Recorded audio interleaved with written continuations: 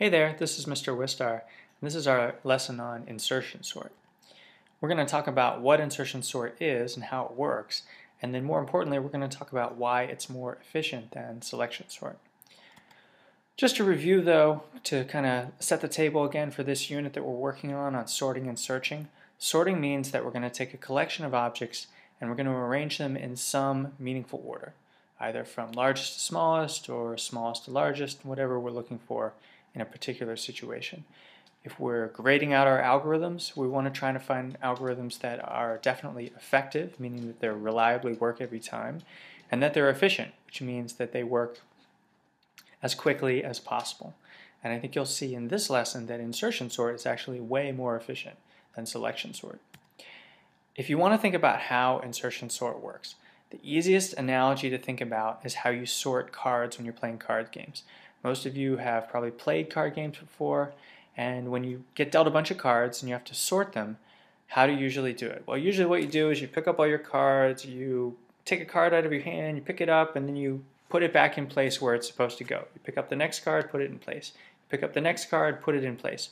All of those actions of picking up the cards and putting them in place, eventually you've put every card in the correct place, and then your hand is sorted. And that's how insertion sort works. What you do every time through the loop is you choose the next unsorted item. Remember that when we talk about sorting algorithms, we want to partition our um, array in our minds into two parts, the parts that are sorted and the parts that are unsorted. In insertion sort, you should start thinking about the items on the left side of the array as being sorted and the items on the right side of the array as being unsorted. So what we're going to do is we're going to pick out the first element in the right hand side and then we're going to put it in the correct place in the left hand side. And every time we do that, the left hand side gets a little bit bigger until eventually it takes over the whole array, and then your array is sorted.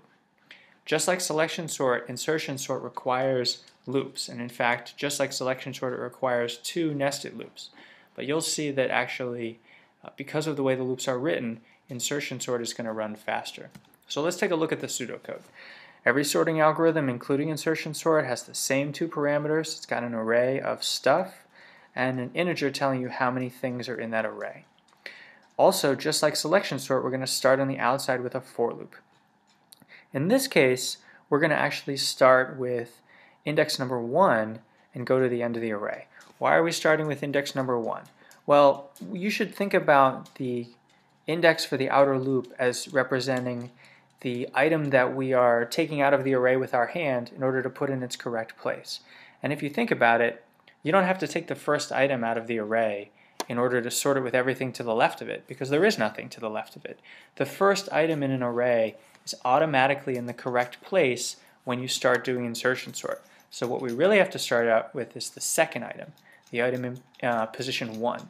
So what we're going to do is we're going to take that swap index, that'll be equal to the thing that we're taking out and we're going to create two temporary variables. There's going to be IDX, which is going to be used essentially to represent um, the position in the left part, the left-hand part of the array where we're trying to put um, the thing we pulled out. And we're going to have a value called IDX val, which is equal to the value that we pulled out. You should think about IDX val as representing that card in your hand that you're waiting to put back in the correct place. The only thing about insertion sort that's really tricky is the fact that you know computers don't have hands. We can't just pull something out. What we're actually going to be doing is taking the items in our array and shifting them over to the right um, in order to make a hole where the element that we're trying to sort belongs. And that hole is going to come in one of, one of two places. It's either going to come at the very beginning of the array, if the thing that we pulled out is the smallest that we're trying to sort.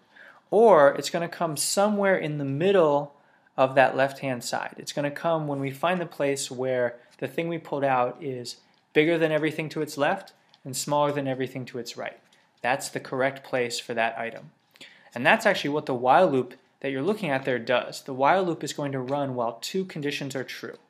One is that our IDX is greater than zero, Remember, IDX represents the item in the array that we're looking at to compare to what we pulled out. And if that, so if that condition um, ever becomes false, then that means that IDX is equal to zero, which means that we reached the beginning of the array and everything that we looked at was already bigger, in which case the thing that we pulled out was the smallest thing in the array. In the second uh, condition in our while loop, the second condition says that we should keep going only if the item to the left of IDX is greater than the thing that we pulled out.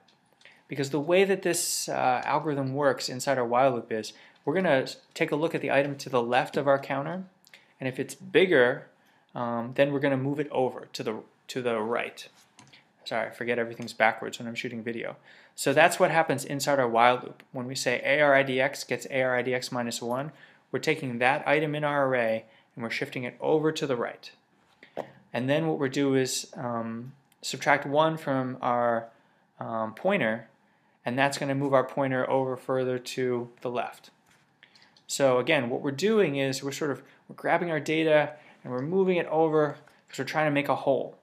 And eventually we will find the correct place when our loop quits to put the item back into our array that we took out. And that's what the last statement in our for loop says, ARIDX gets IDX val. We're taking that item that we pulled out of the array, we're taking that card that's in our hand, and we're sticking it back into the rest of the cards. Okay, if that sounds a little confusing, try with playing cards. It'll make a lot more sense. Let's actually take a look using the debugger about how that would actually work. So here's my program. We're not going to take a look at the code because we just looked at the algorithm and we know how it works. Um, but we are going to run it through the debugger step by step. So here's my array. It's going to be sorted. Pay attention to my local variables. They match exactly the what you just saw in your pseudocode. So we have swap IDX, which remember represents the position of the thing that we pulled out of the array. We have IDX, which represents the position of the item that we're going to compare to the thing we pulled out. And we have IDX val, which represents the thing that we pulled out. So in this case, swap IDX is equal to 1, um, and IDX val is equal to 6. So we're starting with 6. We're going to compare it each time through the while loop. Remember, we're going to compare it to IDX minus 1. So in this case, we're going to compare it to 4. Well, it turns out, relative to the left hand side of our array, 6 is already in the correct place because it comes after 4. So there's nothing to do here with this time through the for loop. Let's see what happens the next time through the for loop though. This time, swap index is 2, IDX is 2, and IDX val is 2. That's the number 2. We're swapping this 2. Well, if you take a look at it, this has to get this has to come before the 6 and it also has to come before the 4. So inside our while loop, what we're going to what's going to happen is we're actually going to copy the 6 over one position to the right. Then we're going to copy the 4 over one position to the right. And then, remember that first condition in our while loop, idx greater than 0? Well, it just became false, which means our while loop is about to quit because we reached the beginning of our array. And now we're going to stick 2 back in its proper place. Notice that's, the, that's an example of the first type of our loop actually quitting. All right, let's try again with 3. Now swap index is 3, IDX is 3, IDX val is 3. Wow, it's a tough coincidence I didn't plan it this way. All right, take a look with your eyes about what you should expect to happen. The 3 has to go in between the 2 and the 4, which means we have to move the 6 over, and we have to move the 4 over, not the 2. So let's see how that works. So we're going to copy the 6 over, we're going to copy the 4 over. Now when IDX gets to 1, the second condition in our while loop actually becomes false because I, uh, AR bracket 0 is not greater than IDX val. And so now we put the 3 back in that spot. Okay, moving on, we're going to swap the 7. Again, the 7's in its correct place, so there's nothing to do. How about with, the, with swap index 5? That's the 1. Well, take a look at the array. If you compare it, again, we're comparing it to the left half of our array. Where does it have to go? Well, again, it has to go all the way back at the beginning. So the 7, the 6, the 4, the 3, and the 2 are all going to move over to make room for number 1. Sorting the 8, nothing has to happen. Sorting the 5, 5 is one of those examples of one of those elements that has to go in the middle of the left-hand part. So we have to move the 8 over, and the 7 over, and the 6 over, but not the 4. We're going to put the 5 in after the 4. Now the 9 is sorted, now the 10 is sorted, and hooray, our index, uh, our algorithm is done.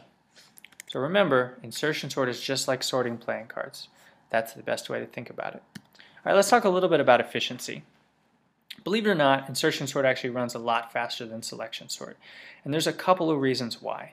The biggest and most important reason is that that inside loop, that while loop, is going to quit as soon as it finds the right place for that element.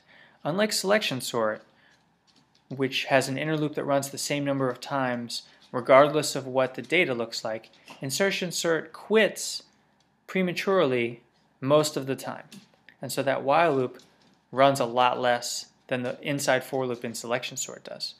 Also, um, depending on how your array is set up, a lot of times you really don't have a lot of work to do.